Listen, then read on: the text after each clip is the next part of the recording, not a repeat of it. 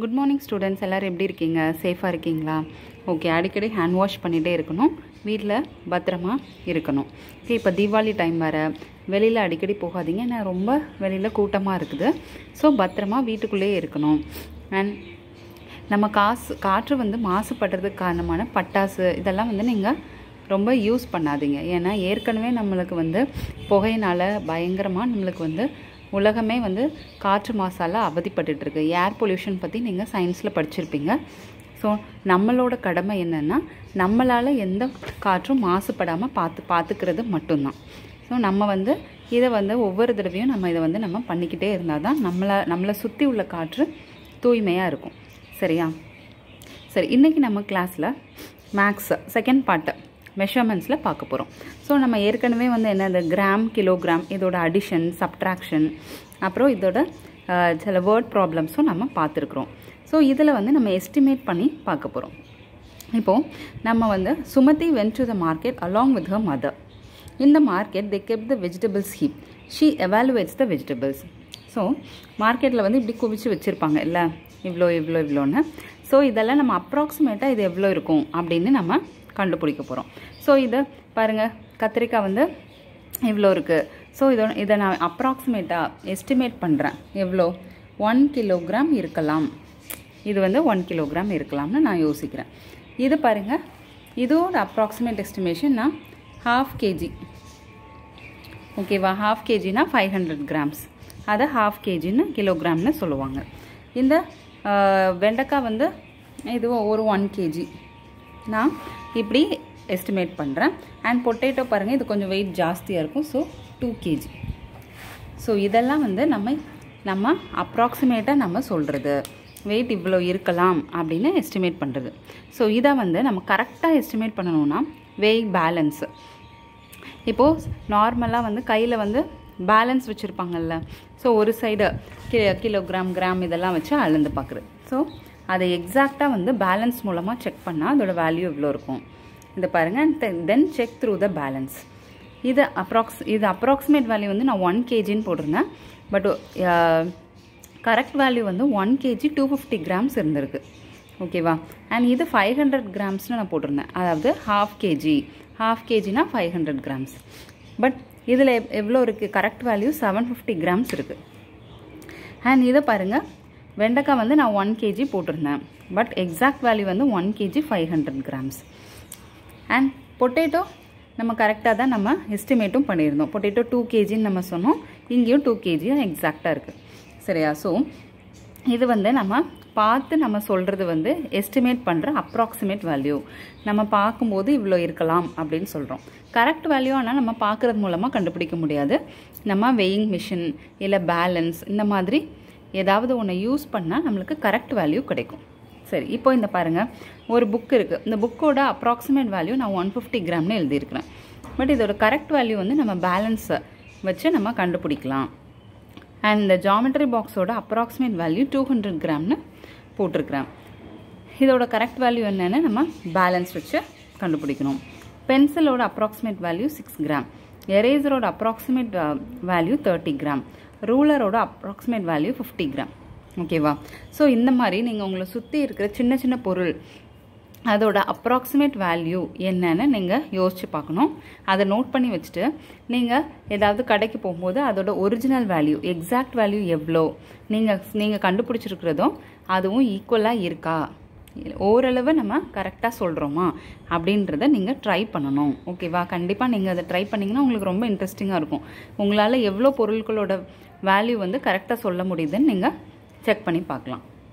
சரி இப்போ நெக்ஸ்ட் பாருங்கள் இந்த எக்ஸசைஸில் மோகனா பாட் two KG six hundred gram grapes and one KG four fifty gram கோவாஸ் how much more did மோகனா by grapes than கோவாஸ் by weight அதாவது grapes எவ்வளோ வாங்கியிருக்கிறாங்க மோகனா?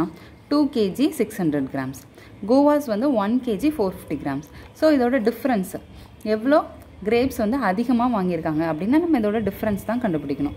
ஸோ இங்கே வந்து நம்ம கேஜி கிராம்ஸ்னு போட்டுட்டு கிரேப்ஸோட weight two K two KG six hundred grams கோவாஸோட weight one KG four fifty grams இதை நம்ம மைனஸ் பண்ணால் நம்மளுக்கான ஆன்சர் கிடச்சிரும்.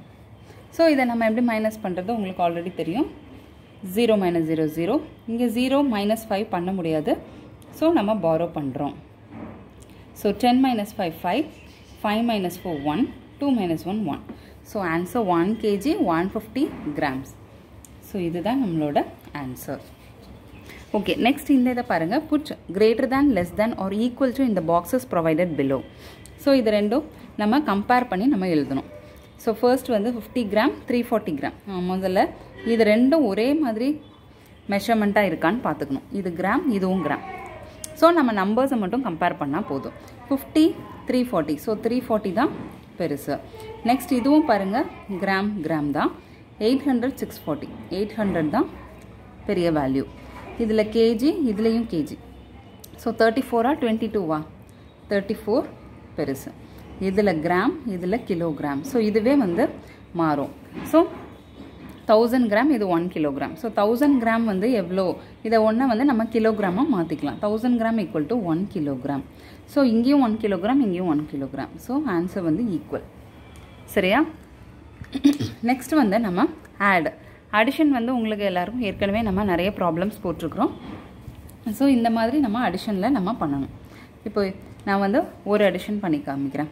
Six plus three nine two plus two four three plus one four six plus two eight so இதோட answer eight KG four forty nine grams ஓகேவா இந்த ரெண்டையும் நீங்கள் ஹோம் ஒர்க்காக ட்ரை பண்ணி பார்க்கணும்.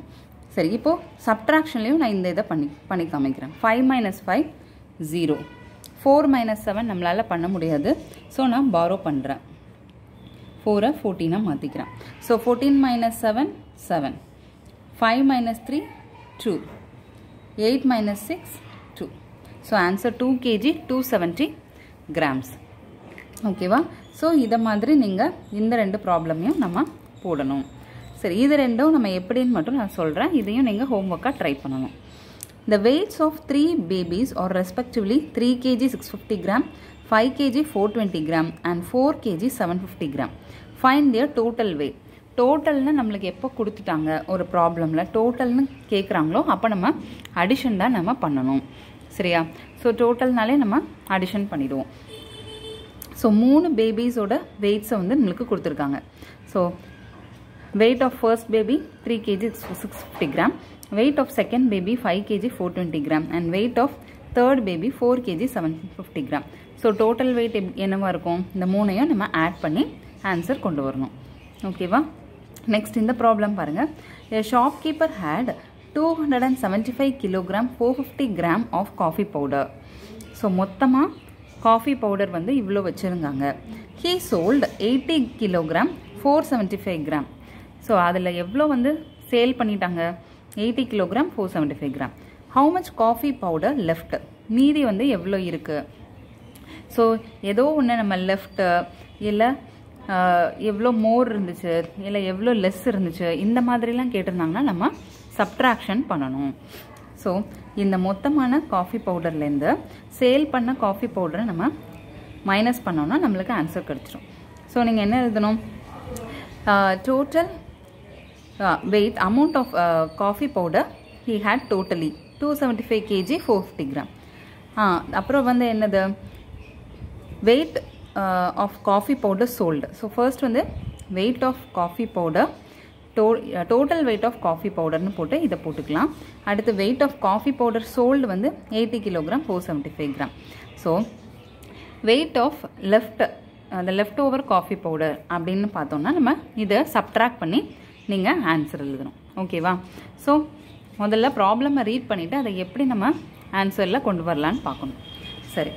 ஸோ நம்ம இன்றைக்கி நம்ம பார்த்தது எல்லாமே உங்களுக்கு நல்லா புரிஞ்சிருக்கும். ஃபர்ஸ்ட் வந்து அப்ராக்சிமேட்டாக நம்ம கண்டுபிடிக்கிறோம். அதை வந்து கரெக்டாக நம்ம பேலன்ஸில் வச்சு நம்ம கரெக்ட் வேல்யூ கண்டுபிடிக்கிறோம். ஓகேவா ஸோ இதை மாதிரி நம்ம சின்ன சின்ன இதுக்கு அப்ராக்சிமேட் வேல்யூ நான் எழுதியிருக்கேன். நீங்கள் கரெக்ட் வேல்யூ உங்ககிட்ட இருக்கிற புக்ஸ் இதெல்லாம் வெயிட் பண்ணி பார்த்து நீங்கள் கண்டுபிடிக்கலாம். நெக்ஸ்ட் வந்து இந்த மாதிரி கிரேட்டர் தேன் லெஸ் தேன் இதை வச்சு பார்த்தோம். அடுத்து மெஷர்மெண்ட்டில் அடிஷன் சப்ட்ராக்ஷன் ஆல்ரெடி போட்டது தான் ஸோ அதை பார்த்தோம்.